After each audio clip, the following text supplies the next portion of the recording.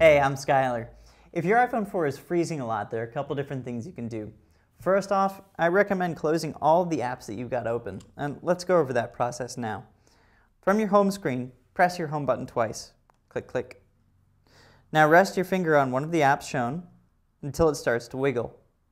Once it's wiggling, tap the red circle. This force quits the application. Force quitting applications isn't the best thing that you can do because it can incur data loss, although I've never personally experienced it.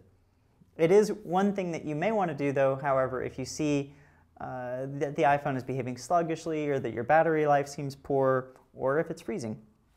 So once you've closed all those applications, what I recommend doing next is powering the phone down. This is sometimes called power cycling. So hold your on-off button at the top and then slide to power off. So those are some initial steps for you to take toward fixing your iPhone 4 when it's freezing. Thanks for watching. I'm Skylar.